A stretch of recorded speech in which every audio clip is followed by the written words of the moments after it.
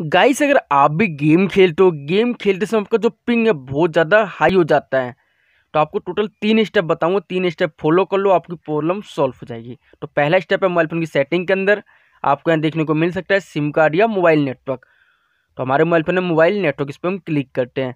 Axis point name pen पर click करना है आपको। रीसेट टू डिफ़ॉल्ट या रीसेट सेटिंग मिल सकता है आपको देखने को। तो हमारे मोबाइल फ़ोन में रीसेट टू डिफ़ॉल्ट इस पर हम क्लिक कर देते हैं। एंड वेट कर लेते हैं। ये पहला स्टेप हमारा कंप्लीट हो चुका है। जो दूसरा स्टेप है, चलना है प्ले स्टोर पे। एंड प्रोफ़ाइल वाले ऑप्शन पे क्लिक करना है। यहाँ मिलेगा आपको देखने को सेटिंग सेटिंग में आना है। फिर आपको देखने को मिलेगा नेटवर्क फ्री फेरमेंस इस पर क्लिक करना है। आपको यहाँ देखने को मिल जाएगा ऑटो अपडेट ऐप इस पर क्लिक करना है आपको। यहाँ यहाँ क्या करना है आपको?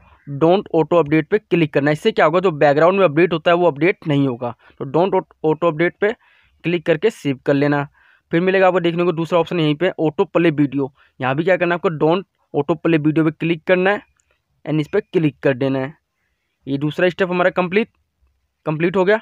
तीसरा जो स्टेप हमारा है, आपके मोबाइल फ़ोन में एयर, जो कि आपका एयरप्लेन मोड होगा, गेम खेलने से पहले क्या करना है आपको, इसको ऑफ़ करना है। फिर ऑन करना है आपको। फिर आपको गेम खेलना है। तो आपकी जो प्रॉब्लम है सॉल्व हो जाएगी गाइस